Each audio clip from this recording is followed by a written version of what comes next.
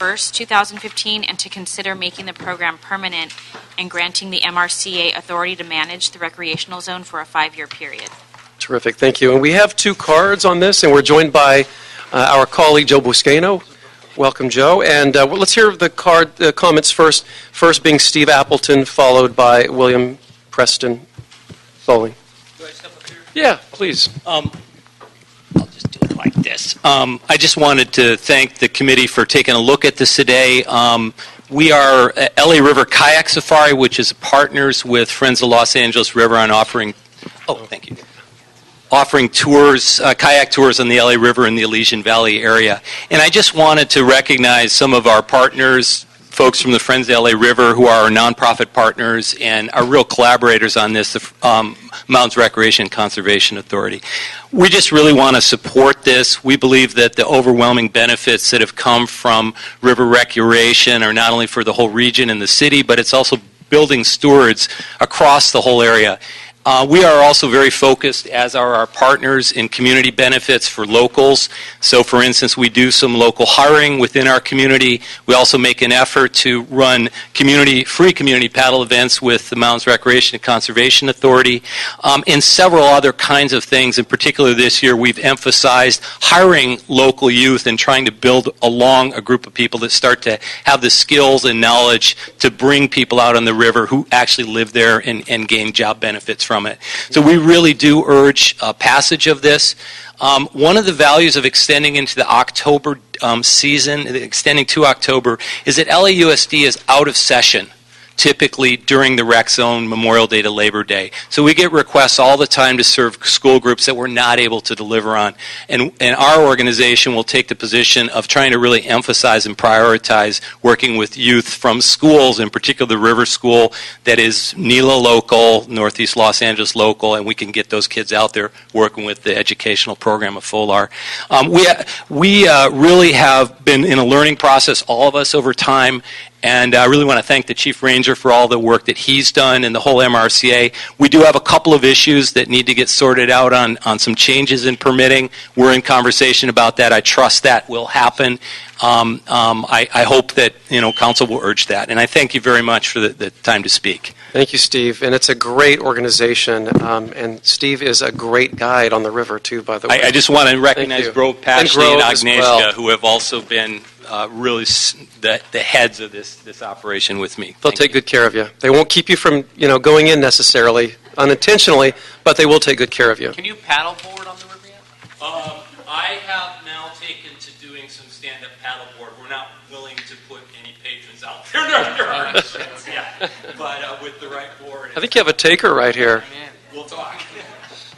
All right, and uh, next we have uh, William Preston Bowling. Hello, I'm William Preston Bowling. I'm Special Projects Manager at Friends of the Los Angeles River. And I brought with me uh, Sean Warren, and we're part of the Legislative Committee, and we're in support of the motion. And uh, we cleaned up uh, trash uh, in the Sepulveda Basin and uh, some parts of the San Fernando Valley with Fernando here at MRCA. And the dumpsters were overflowing. Uh, it was a success. And I put some flyers back there for our cleanup. We're actually cleaning up the rec zone this Saturday. So if you guys can make it, there's some flyers back there, and we're in support of the motion and thank you. Great. And how many years is, is the La, La Gran Limpieza? It's about 20. This is our 26th year cleaning up trash in the LA River. So the Army Corps of Engineers built 1,500 miles of storm drains to get the water off the streets as quick as possible. And unfortunately, they drain into the LA River and Ballona Creek. So we clean up that trash before it hits the ocean and becomes part of that giant floating island of plastic. And uh, we hope to see you there on Saturday. Wonderful. I certainly will. Um, all right, thank you. And that, that uh, concludes the public comment. And now I'd like to invite Mr. Fernando Gomez from the MRCA, another incredible guide, by the way, on the river. Thank you so much, sir. Good afternoon. Welcome. Everyone uh, as well. Again, Fernando Gomez with the uh, Mountains Recreation and Conservation Authority, Chief Ranger. And uh, again, uh, MRCA has actually been blessed to actually be able to be appointed to the uh, recreation zone starting uh, when it first started now four years ago out in the Sepulveda Basin. Really successful with the nonprofit organizations that we joined.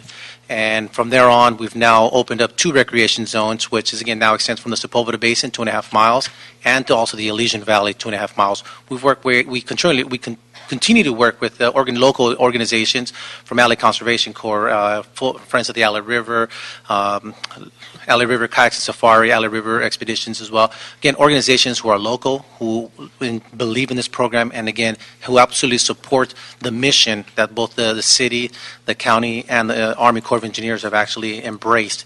And that is one of the things that if we have been that ship and to make um, the connectivity for everyone to enjoy, then you know what? That's great.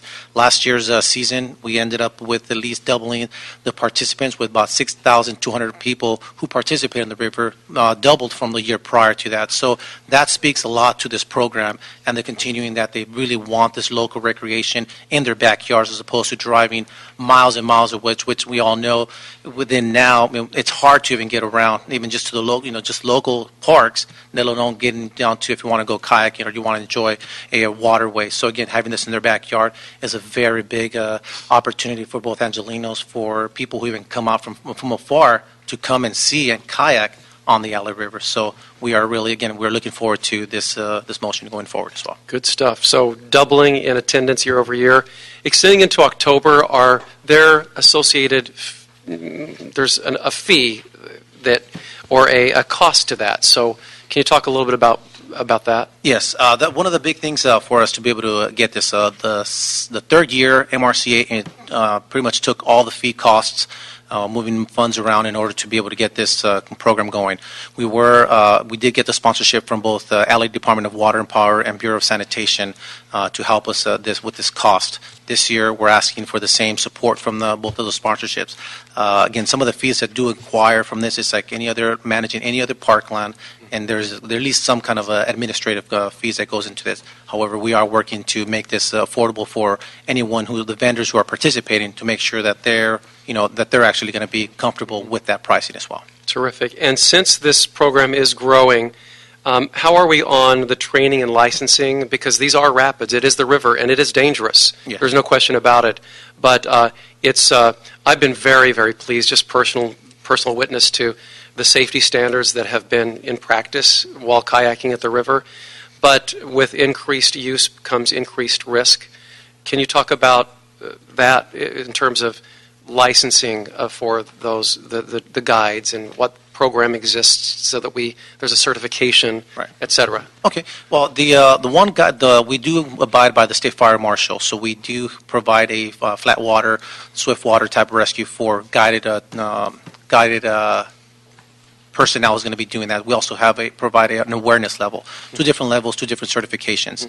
Uh, both of them uh, could either be cited under the M, under the uh, or can be issued under the uh, state fire marshal or equivalent. The equivalent part is that the MRCA would then certify those folks to still participate at no cost to the vendors for that certif- certification. Uh, this year, we were trying to actually cut some of those costs for vendors to travel because some of these things have to be traveled out of state to be able to get certification. Okay. And uh, so I, and I'll, I'll actually take this, I actually wanted to make this uh, less cost uh, for the vendors, traveling wise. And unfortunately, it's one of those things where there was a concern. And uh, quickly, uh, I'm taking that back. And now we're going to be making everyone at least at a minimum to an awareness level, which we then still feel comfortable uh, having folks out there guiding and safely. They will have the same components uh, minus one item, which is an in-water safety, uh, kind of breaking away from your vest uh, component of it, uh, and any uh, night operation because they're not even going to be in a night, night operation in there. So that's one of the key components. At awareness level, it still is a component that uh, no, you can you won't be able to obtain it anywhere else. I guess unless you find a state fire marshal approved class up and down the state of California. So we are going to still maintain that integrity of the safety and the components of uh, the supplies that people need in order for them to go out from you know from radios to be able to get a hold of us, inexpensive radios that they can get them at local local uh, sporting goods, and be able to still make that communication with us when there's uh, when there's that hazard when they need that help, as opposed to creating a 911 call and being a burden to the city. It's a 911 system from either fire or, or PD. Our our staff is being assigned specifically to the river uh, during the recreation zone. Okay, so anyone who's out there as a guide has a certification process that you're satisfied with, and anyone who doesn't have that level of certification is not permitted to be a guide. And that is correct. Okay, Yes, and- terrific. And we're working with all the vendors, making sure that uh, this is going to be happening, and uh, the, the class is already coming up uh, in a couple of weeks. And, and lastly, what, um, what's the chance of someday bringing that certification process to the LA River so that we don't have to travel out of state to get permitted? Is that any, is there a likelihood of that happening? There can be, and uh, that would just, again, it- it- there is a lot of components with it. 'cause We would have to work with even folks from the aqueduct to be able to get folks, we- with the whole component of that, we need a swift water portion of it. So there's got to be that little bit moving water in order to get the certification to get to that state fire marshal. So, uh, and again, using the class here and putting them where our either partners from the LA City Fire, Ventura, go to, it may be, again, it's just maybe not, not uh, something, that an avenue that we definitely may need to uh, kind of uh, research for local. Terrific. Thank you. Colleagues, any questions for Mr. Gomez? Uh, Just a couple of questions. If you have 6,200 people, what, the- what's the fee per individual? I don't know. We don't charge. The park does not charge a fee. Does anybody get charged? Uh, I'm sure the vendors do charge. Uh, actually, vendors do charge for that, and Yeah. they're here, so they can probably. Uh, uh, Well, What's the fee? So there's a bit of a sliding scale. There's a lot of free community members. Right. You come up to the microphone, for the record. For the record, you got to speak to the microphone. Judge Judy's going to come in here and get you. Um, the fees are somewhat of a sliding scale in Right. that we oftentimes take locals for free or reduced cost. Right. The top end of it is around $75 in Elysian Valley, and I think the, the, the trip is shorter and less uh, difficult in Sepulveda, and it ranges, I think, around 65 or 70, something like that. I, I, I can't. All right, so let's say $70 times 5,000, Um, right? yeah. If you, if you if you say 1,200 people go for free, I'm just throwing that out there. So, Chris, how much is that? $70 times 5,000. Just so we get a rough idea, Calculator out. you know. She's on it. 350,000? $350,000? 70,000 times 5 is No, no, $70. Yeah, yeah. Times So it's 30 5,000. 350,000. Well, you should have a better looking jacket on there, buddy. Well, just I'm teasing you. I'm teasing you. I got it. I got it. Well- I don't know what it is, but the point I'm trying to make is this is here and it's so wonderful. And as a vendor, thank you. And, and as a ranger, thank you. And Mitch O'Farrell, thank you. But I just want to make the point. This is what people want. They want real experiences.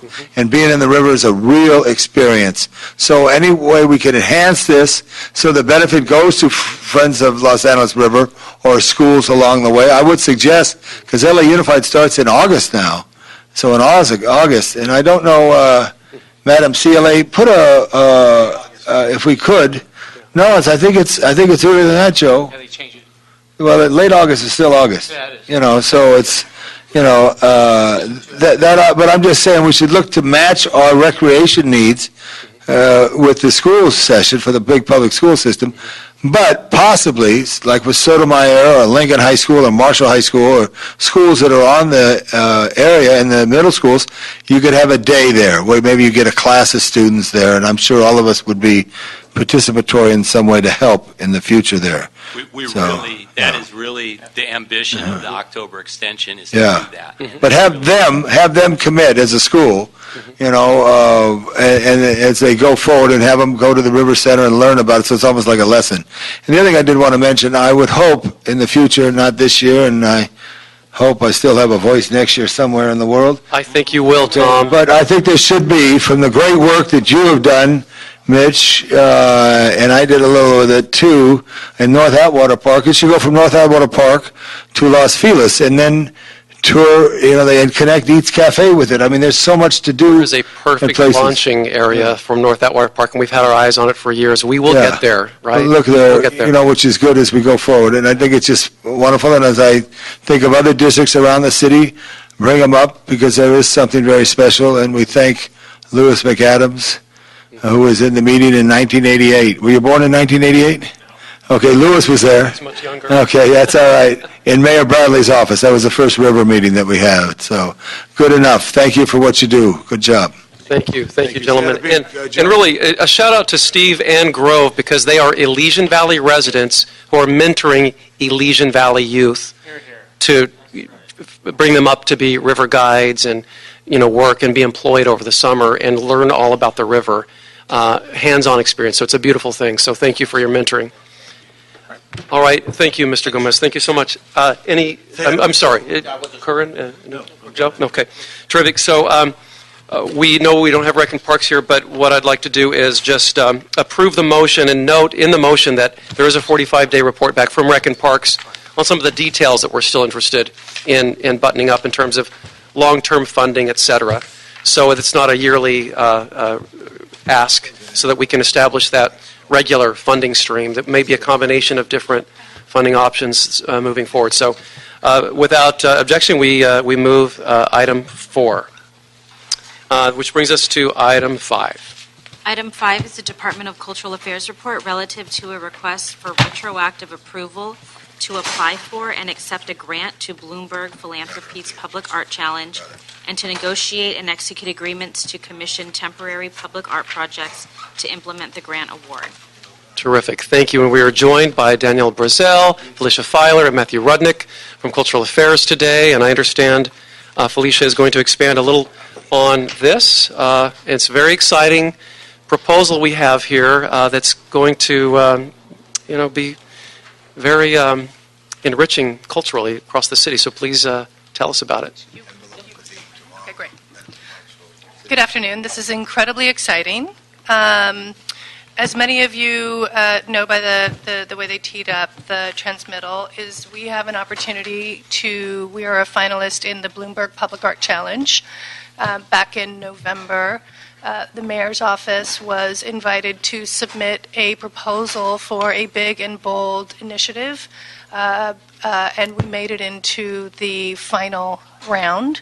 There is now one, we're one of 12 cities that are in this final uh, competition.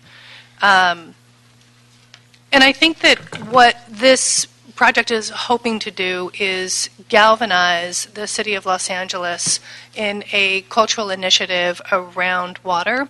Um, it will uh, ostensibly uh, create the first public art biennial uh, in Los Angeles, uh, anchored along the LA River.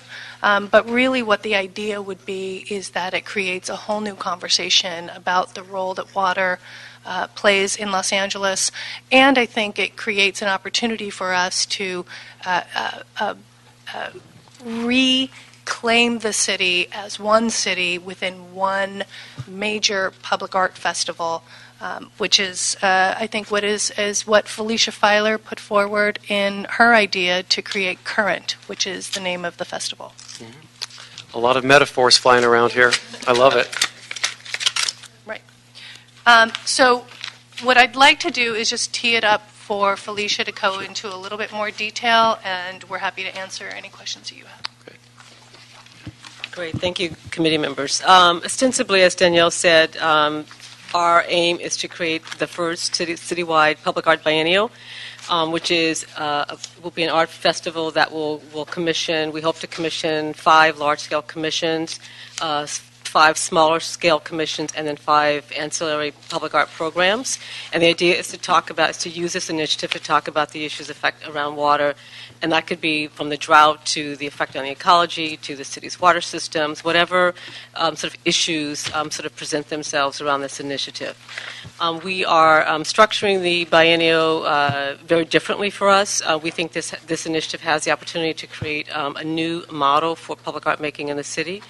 Uh, we will be working with a curatorial team of arts professionals from area museums and independent curators. Uh, we will be um, developing um, a full-fleshed, uh, uh fleshed out um, social media campaign. We will be developing uh, an evaluation tool to, to measure the impacts, social and economic impacts of this initiative. And, um, and, and as Danielle said, while most of the works the artworks will be sited along the river. Um, in order to make the city wide, uh, we also will be looking at the, the, parts of the city where the river does not run through it, but, uh, but but those parts of the cities are equally affected by the conditions of water. So, so we have identified um, a site location in all the council districts. We have identified um, arts development fee funding as the match for this initiative, and um, this is the application that we submitted to Bloomberg, and we um, are very, we feel very strongly that we'll be confident and successful in getting the, the uh, award. Terrific. Um, and can you talk about the, the costs, uh, the, the, of the, the Yes. amount the- of the grant, et cetera? Yes, um, the, we're asking for $955,000 from Bloomberg, and our match is roughly 1.3 uh, on top of that, so almost a little over 100% match. Um, and the city's funds will be used primarily to fund um, the artist commissions. That includes design, fabrication, and installation of the artworks. And then with Bloomberg's funding, we can um, be used to get some of these ancillary services that we haven't been able to use before, which is our curatorial services, which is you know marketing, communication, uh, a technical producer, somebody who can help the artists, uh, you know, make their installations in these very sort of you know uh, non-traditional um, sort of environments, uh, the evaluation method, et cetera. So we're going to use the Bloomberg's funds to um, to enable us to establish um, the foundational tools that we need to measure the, the, the program so that moving forward, because it is our aim, which is to have this sort of initiative every two years. So we can establish our metrics, we can establish, um, you know, our, uh, the, the structure, we'll have, you know, a marketing tool, we'll have a brand pool, we'll have all of the sort of foundational needs um, developed. So moving forward, we can just concentrate on the additional art commissions. And I love the idea of employing artists, offering commissions to artists in LA.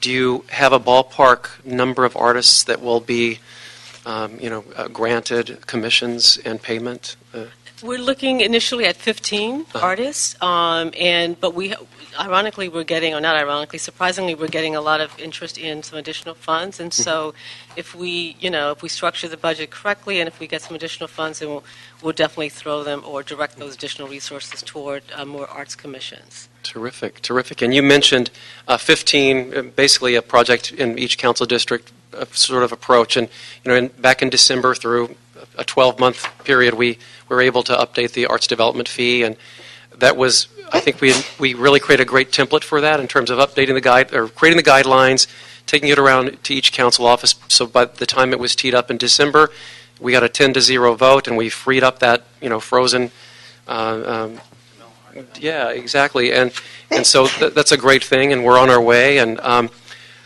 in terms of this, going around uh, to all of our colleagues and kind of working with them in terms of what you've identified as possible projects in the districts. Great.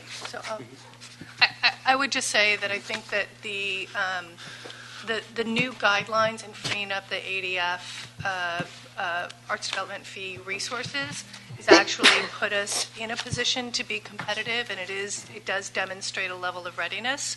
Um, we have had the opportunity to meet with members of this committee at this point.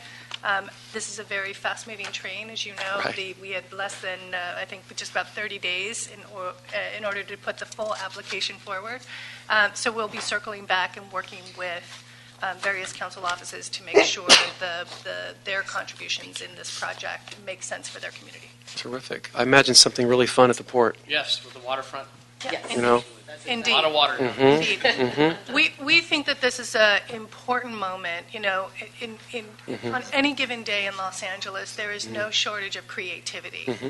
Um, There is no shortage of artists in our town. Mm-hmm. But there has yet to be a real opportunity Bless you. to galvanize an idea Mm-hmm. that, um, that is, that is both around a social issue, Mm-hmm. using, I think, one of our greatest resources, which is creativity, Mm-hmm. and to really think about the role that creativity plays in changing awareness, changing behaviors, changing a value system. And in Los Angeles, we need to change the value system around water uh, in a major way. So we think this is a great timing for this, and we really um, encourage your support. and can you go over the timeline a little bit? So, say we're, we're blessed, we get the grant, and um, you know, it, it starts, it begins. Uh, when can the commissioning begin, and when can the first projects begin going in?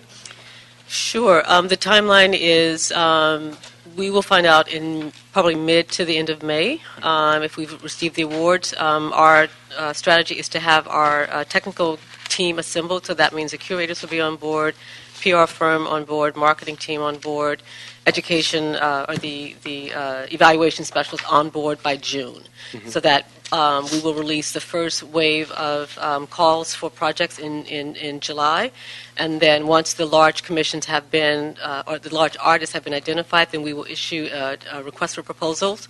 Uh, actually, two requests for proposals one for the smaller commissions in, in August, uh, and one for the, uh, the educational uh, materials also in August. And so the, com- the curatorial committee will review uh, the, the proposals and, and criteria uh, over the month of September, October, and then and then ideally have all of the of selected artists and programs assembled by November. And then from there, we go through um, a series of permitting process from the uh, LA River Corporation, uh, DWP, and Army Corps, uh, a bunch of folks. Um, and the idea is to have all of the, the commissions uh, have completed their permitting process by the end of this calendar year so that they can begin moving into fabrication um, by the first of next year, so 2016. Um, along the way, we hope to engage, or we plan to engage, the social media component and the educational specialists from the beginning so that they are there with us and with our curatorial team, designing and, and refining and giving us some strategic direction in terms of how we roll the program out. So, um, so we envision this to be. Um, we're not really sort of focusing on the end result, which is the artwork, the big reveal. Sure. But it's really about identifying the process and, and shedding light, using social media and our marketing to sort of, eh, to sort of sh- present the process as it's unfolding and as it's being developed. And I would just add that the Team DCA has done an extraordinary job under Felicia Filer's leadership in really thinking through a very complicated and arduous and multi uh, de- city department um, workflow in order for this timeline to be successful. And, um, you know, it, it, it, it looks reasonable, doable. Um, it is going to be a heavy lift, but I think our department's ready for it. Mhm. Sounds like it. That's great. And uh, tell us about the curatorial uh, commission. Is it something that exists now? Is clearly there is a template that you follow with when you get you know grant funding for projects. Is does this fit into that? Um, this is a little bit different. It's actually new for us for Okay. public art. Typically, for public art, we have a building that, that is assessed 1%, and then we issue a call for projects, and we get an artist, and the artist works with the architect and the community to sort of develop their project. With this project, we are um, we have a uh, uh, brought on board um, a artistic director, Mark Pally, who's actually here and um, observing today. And, and then with Mark Pally's, uh, under his artistic direction, we, we have identified four curators one from the LA County Museum of Art, uh, one from Otis College of Design, uh, from the uh, an independent curator, and then one from the Armory Center in, in Pasadena. So these curators all have experience in, in uh, in working on biennials.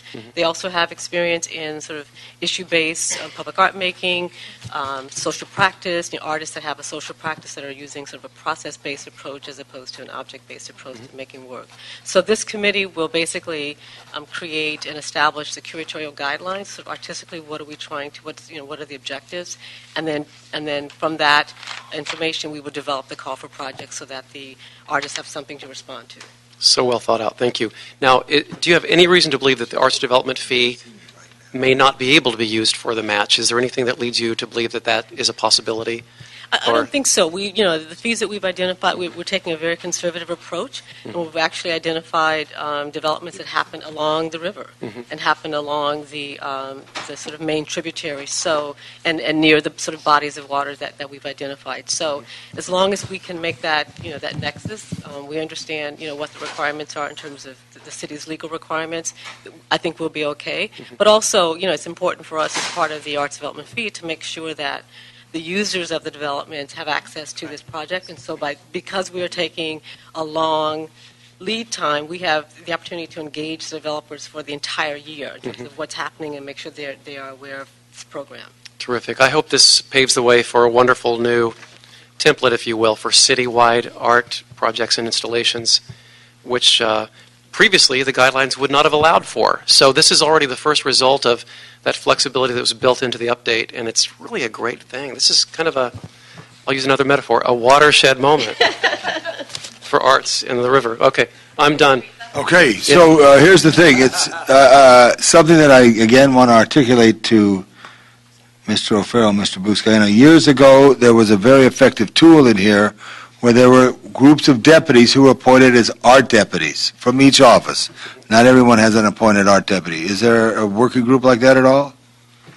Uh, th- uh, In my previous. uh, No, I understand. No, no, but forget your previous. It it is Right. my understanding that we, we have a contact person in every one of the council offices that has a, a, a DCA. responsibility. Exactly. Okay, so that, what I would just suggest, Mr. Chair, to strengthen that, and then also for you to call a meeting in this room or another room and have the deputies come and say, this is what needs to get done.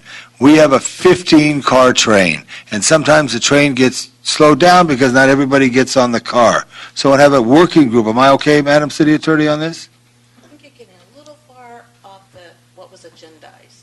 Okay, but in order to be effective to reach your goals, I would suggest trying to reinstitute, uh, through the committee chair, to push the planning deputies of the city do that. The city attorneys, friends of the city attorney's office don't do that, but they make them smile. You understand what I'm saying? Copy that. Because I- it's real key. Yes. And the only thing I want to leave on the table, the only piece of art that I want done is the cats to return to the river. Leo Limón. The big, well, not Leo. Leo did it. The original were a couple from uh, Burbank. Leo was uh, the one who painted some, but other artists could do it. But that's the only suggestion that I wanted to lay on Thank you. you, Council. Thank you, Mr. LaBonge. Mr. Buscaino? No, we're good? Um, All right, terrific. And we have no public comment um, on this, seeing as we don't, then um, we will, without objection, we'll move this item forward. Fantastic. Thank We you promise so- to keep you posted. Thank you Give so a list much. of that, of who you have, the art people. Give it to the chairman. I will. Thank you. And thank you for that suggestion. You got it. We Good need to see you. Oh, You got it. You got it. My number's going to still be there. Thank you. Thank you, Daniel. Uh, Which takes us to item six. Item number six is a city administrative officer report relative to a request from the Zoo Department for authority to execute the proposed Fourth Amendment to the Memorandum of Understanding with the Greater Los Angeles Zoo Association for marketing, public relations, site rentals, and catered events. Wonderful. And we're joined by John Lewis and Janelle Irving and CAO's o- offices stepping forward, and also Connie Morgan, if if you uh, would um, please step forward as well.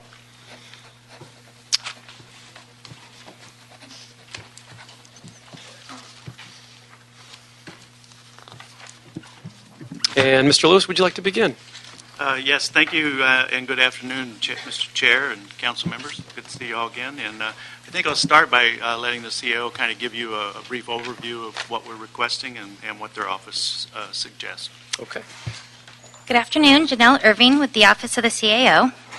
Pending before your committee today is the proposed Fourth Amendment to the Memorandum of Understanding between the Zoo Department and the Greater Los Angeles Zoo Association for marketing, public relations, and site rentals and catered events. On September 23, 2014, the Council approved the Zoo's business and marketing plan and ratified the marketing MOU as amended by the Third Amendment. The term of the MOU is from July 1, 2013 to June 30, 2016. Subsequent to the approval of the Third Amendment, Glaza identified and implemented an additional revenue-generating strategy to meet the deliverables of the MOU. This marketing initiative utilizes the zoo after normal operating hours as a venue for events known as nighttime ticketed events. The zoo and Glaza have reported that significant revenue has been received and generated from these events, including the first year of the LA Zoo Lights. The proposed Fourth Amendment will incorporate nighttime ticketed events as part of Glaza's annual marketing program and allow the net revenues received to be transferred to the Zoo Enterprise Trust Fund and to also be included in the Zoo and Glaza revenue sharing schedule. Implementation of the proposed Fourth Amendment will provide additional revenue of approximately $1.1 million to the Zoo Enterprise Trust Fund in fiscal year 2014-15 and potential additional revenue in fiscal year 2015-16. The proposed amendment does not extend the term of the MOU. Nighttime ticket events were not contemplated at the time the zoo submitted the business and marketing plan for council approval. As a result, an update to the plan is also required to incorporate the new marketing strategy and additional revenue opportunities. As such, our, rec- our recommendations are as follows. One, approve the update to the zoo's business and marketing plan. And two, authorize the zoo director to execute the proposed Fourth Amendment to the MOU between the zoo and Glaza for marketing, public relations, site rentals, and catered events.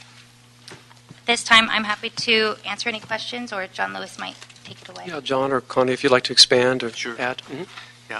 Um, th- This, um, this need really came forward uh, due to the successes that we've been having. I mean, uh, part of the business and marketing plan was in response to the council's request, if I can continue the metaphors, to wean the zoo from the general fund support.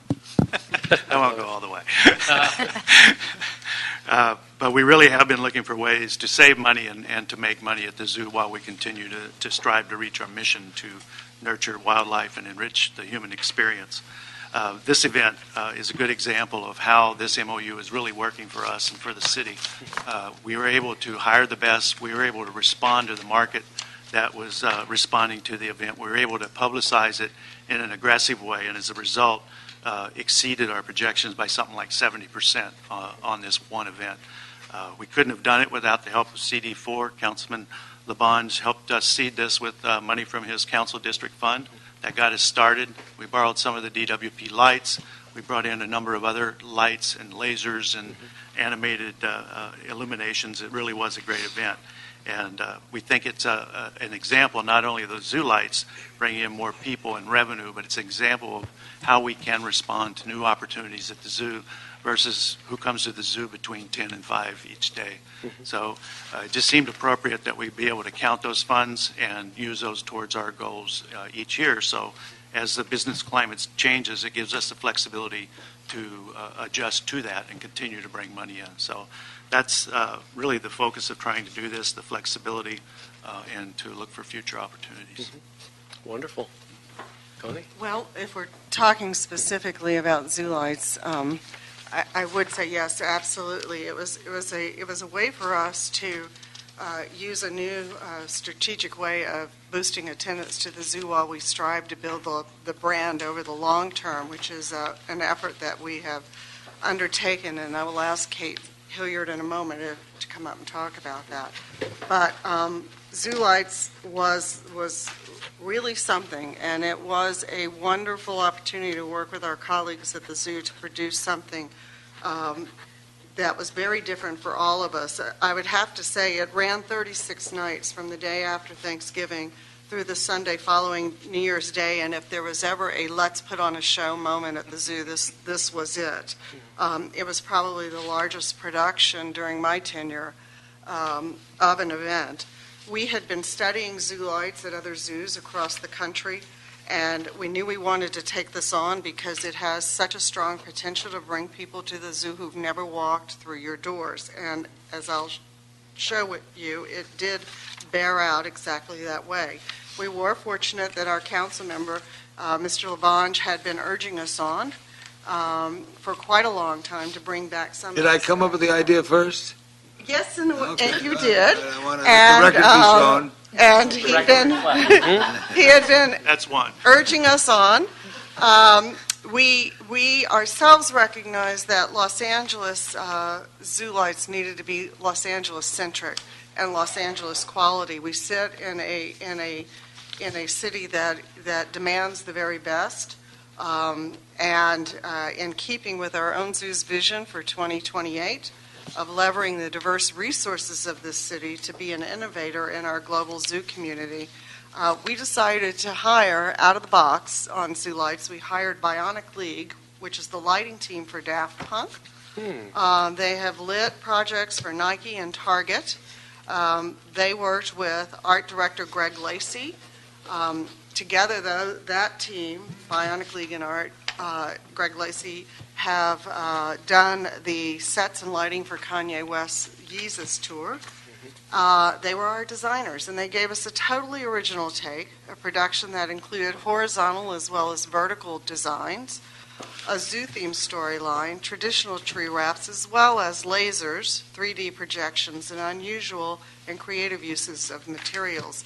Um, if you went to the rainforest lily pad, for instance, you would have seen a frog, frogs sitting on the lily pads that were made out of used water bottles, and they were lit, and they were programmed um, with uh, uh, with music as well. And I think that was a thirty thousand dollar package given to us by a firm in Germany.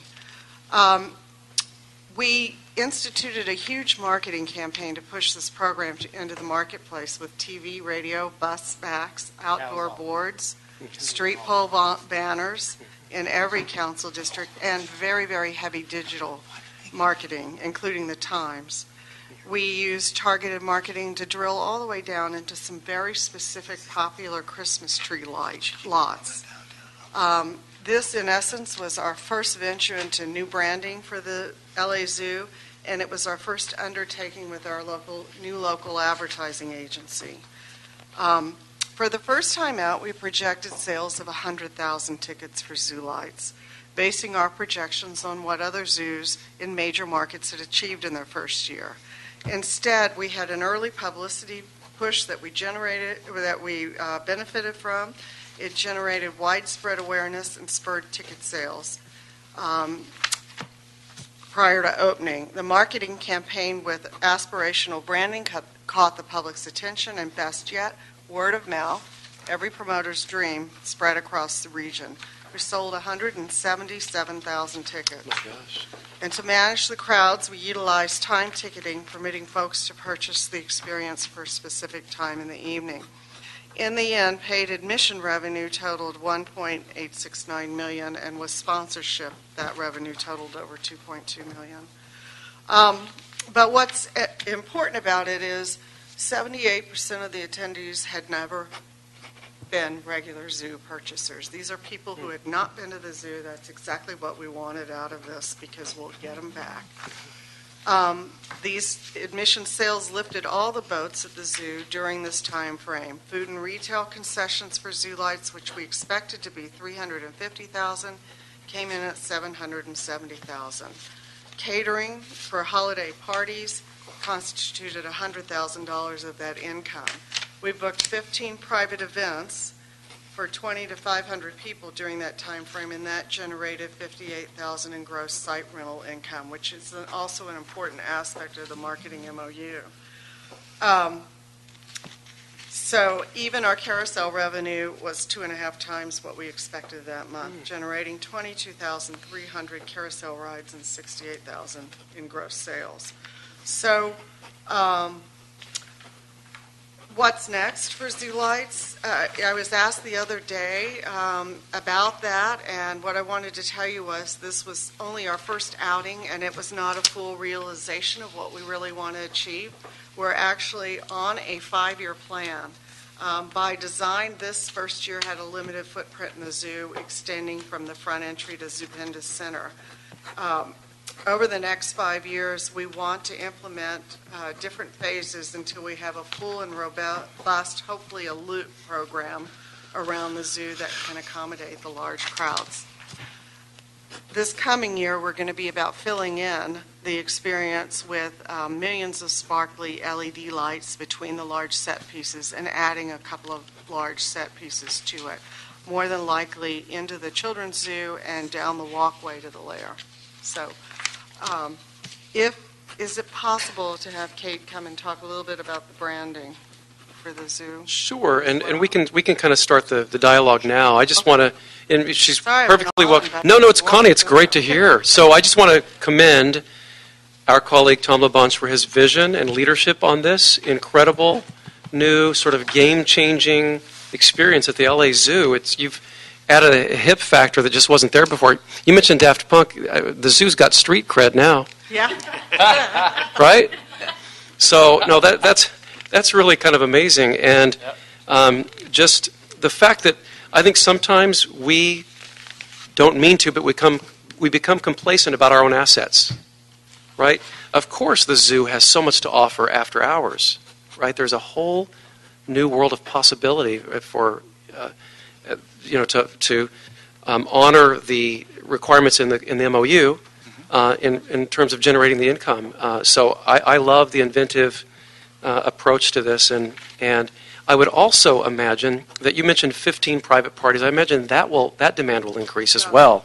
We're, we're already Which could be look- to book one for this coming year. So that could be very lucrative as well in terms of generating uh, additional revenues for, for this asset. Okay, terrific. Yeah. Yep. Connie had asked me to bring along, as she mentioned, in October, we hired a new ad agency and media planning and buying agency. The old agency was um, based out of San Diego, and we just wanted to take a fresh look at everything as we came on board. And the very first assignment they had was Zoo Lights. And um, the brand positioning is natural fun, but within that is this studio quality execution sort of mandate that ties into our vision statement of leveraging the unique resources of LA. So the very first um, piece that came out of it was, of course, this. If you drove around town, you Oh, yeah. probably saw a bit of it. And of course, this is just for zoo lights, but it's the tip of the iceberg in terms of moving forward and developing the brand more. Also, at that time, we launched the campaign "The Reindeer Have Landed" for Reindeer Romp, which is our um, our daytime programming during. Um, I have, I have to jump in here because Yeah. that one reminded me, if you are familiar with Vine, you know, the little six-second Oh. videos that go on. Yeah. We had a six-second video of the reindeer chewing. It went viral. Oh, was- It had like over a million. How many hits, views. John? You know what hit is? Over. How many hits, John? Over a million. Over Wow. a million. Yeah. Yeah. Just chewing. Who you can't plan this stuff, okay? Right. you just got to. That's content. You just got to put it out there and hope something sticks. So then, most recently, on uh, late March, we launched our first big advertising effort for daytime attendance, and you may have heard or seen this campaign. Um, it's called Meet the babies. Meet Our Babies. Oh, And it's all about leveraging, again, um, the great job the zoo is doing in creating a wonderful environment for our animals and sustaining populations and putting us squarely in the center of Los Angeles. So you'll see that the Griffith Observatory is here with our koala. And here we've got the downtown skyline. Vincent Thomas Bridge. And this, I think I this see one it. has Griffith again. So we're really wanting to elevate the brand to become this must-do destination in LA, both for Los, you know, our, our residents, but also people outside of LA to think of the zoo as a great destination. And along with this branding work, we have a new tagline, which is the Los Angeles Zoo, inspired by nature, ruled by animals. So you'll be seeing that. In May, uh, we're launching our first sort of general awareness campaign um, about the experience of coming to the zoo and with a nod to our new Jaguar exhibit. So what else do I have? One more. That's it.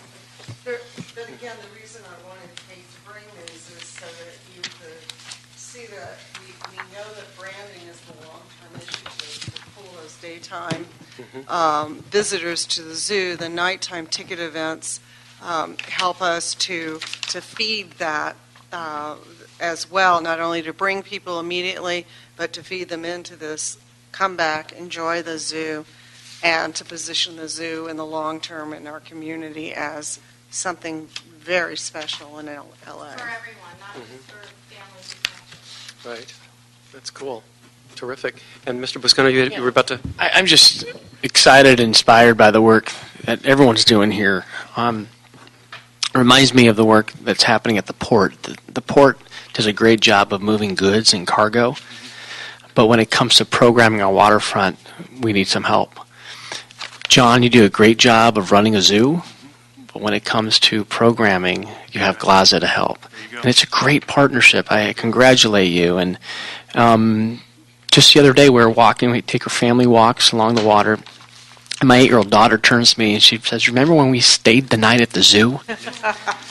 and th- those are just mm, just family memories that you capture and you never forget. Is the camping still going on at the zoo? Okay, I, we haven't been back in a couple years, but hopefully sometime this this summer we, we return. But congratulations, we're inspired. I know there was a lot of skepticism at first uh, with this partnership, and it's proved we're you know we're proved it's, you've proved to to those who had some doubts and have raised concerns about this partnership that it is possible and it is working along. And and Tom, I know before you land your plane.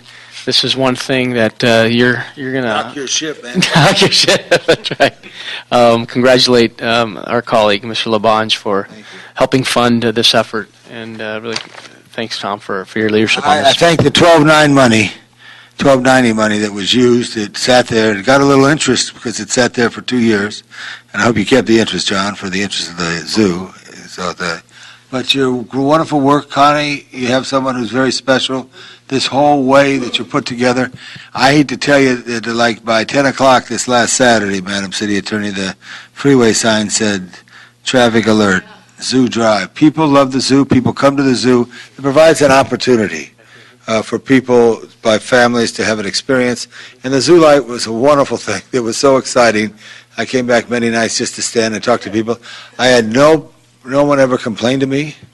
Uh, and this was an offset of the original idea by our great friends at Water and Power had the lights that became overwhelmingly successful.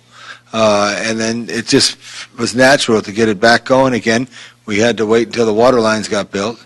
And uh, I'm just proud of all of you because this was something, as you said, that's the best thing. I got to remember what your daughter said. Gia. Yeah, Gia said, you know, about the camp. I mean, the whole thing in life is to remember certain things about your life experience, and that's what the city's all about.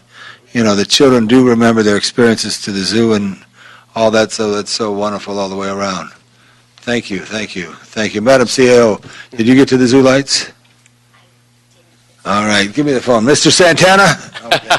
What's the name of the? Give her the night off. The light Okay. folks? I want to get the information of the names of, yeah, if you can get that in my. They should do that down at your place. there. You're going to bring that kind of credibility to the, to the harbor? So I just want to say that uh, I also want to commend, commend the CAO's office for just the partnership uh, and, and effectuating the, you know, the, the goals and intent of the MOU. It's, it's being done, and it's, it's like working in hand in hand and um, discovering this wonderful uh, and innovative revenue source and stream that's going to get better. It's going to improve even more. Um, and uh, just, I want to commend all the parties for working so well together. And we, when you have the zoo and you have GLAZA and the CAO and the city, and I mean, I think we're really on our way to that long-term healthy relationship that it's, it's really going to just um, um, further establish the zoo as a world-class destination that it definitely deserves to be. So I want to commend everyone. And so, having said that, how are we how are we doing in terms of the revenue now with this amendment to this? Um, how does it look in terms of? Well, with this amendment, it'll bring us up just to where our projections were, so we should finish the year within budget. We're Uh-huh. still running a hair below on Okay. revenues. Attendance is, is up uh, slightly, but revenues are still dragging, daytime revenues, so we're Mm-hmm. trying to, in fact, at our uh, zoo stat meeting tomorrow, we'll be talking about attendance and revenue and trying to drill down on that. So Terrific. Well, I also want to thank you for your Zoo Pals program. I was there on Friday with, Yeah. with Alessandro Elementary School. They loved it. It was phenomenal. Taper Avenue, thank you. They Love, love that San Diego, program. love it, thank you. And um, I would imagine that tells part of the story as well, with all those kids just thrilled to be there and the teachers and the chaperones. It was quite a day, very exciting. And I think that events like that, um, and i- if there's greater awareness that that type of thing is happening uh, in the kickoff of spring and summer, then that, uh, you know, that could certainly help attendance as well, that, that awareness. So, But I think the, the council must understand that this is a, solely on their uh, responsibility. They're not like another department gets general funds, so this partnership is so important. I uh, move the report, so, Move uh, it. second, and good. No objection. We're, we're on our way. It is moved. So th- thank you so much, and congratulations, and, and onward with the If I zoo. could, real quick, just thank your office too, helping us, the CLA, everybody asking the tough questions that we need to answer to keep this thing transparent and answer all the questions. So thank you for that too. You bet. Thank you so much. Thank you, Mr. O'Farrell, it was your leadership Oh, there. thanks. Thank you. Thank you. All right, uh, and that, that uh, is the last item, and that concludes the meeting. This committee hearing is adjourned.